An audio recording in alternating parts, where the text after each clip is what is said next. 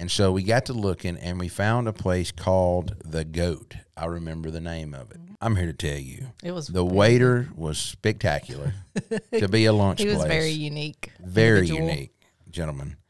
and knew the menu inside and out. But that whole meal was, I, I had the uh, a gyro, and it was. I just tried to order that simple. What did I eat there?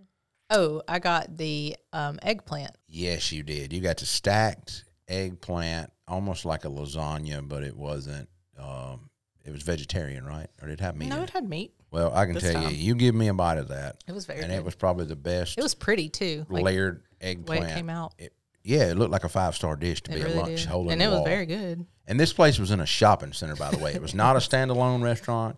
It was in a bay of a shopping center, and it was It could have been on diners, drive-ins, and dives. I feel like it was banging, hundred percent. It really was good.